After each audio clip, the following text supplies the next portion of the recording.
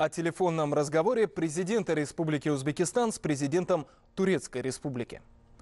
26 февраля состоялась телефонная беседа президента Республики Узбекистан Шавката Мирзиёева с президентом Турецкой Республики Реджепом Таипом Эрдоганом.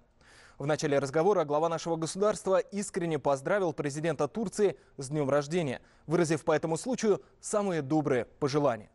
Лидеры двух стран с особым удовлетворением отметили наблюдаемую положительную динамику углубления узбекско-турецких отношений дружбы, стратегического партнерства и взаимовыгодного сотрудничества. Высокими темпами растут объемы взаимной торговли. Товарооборот по итогам 2018 года увеличился на 40%. Реализуются крупные совместные проекты в сфере инвестиций и инноваций, энергетики, сельского хозяйства, модернизации инфраструктуры, туризма и других областях с участием ведущих турецких компаний. В настоящее время в Узбекистане действуют 655 совместных предприятий с участием турецких инвестиций, 270 из которых созданы в прошлом году.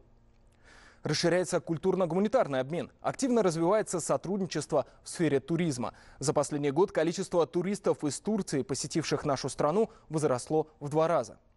Главы государств подчеркнули важность полномасштабной реализации договоренностей на высшем уровне в политической, торгово-экономической, инвестиционной, финансовой, культурно-гуманитарной и других сферах.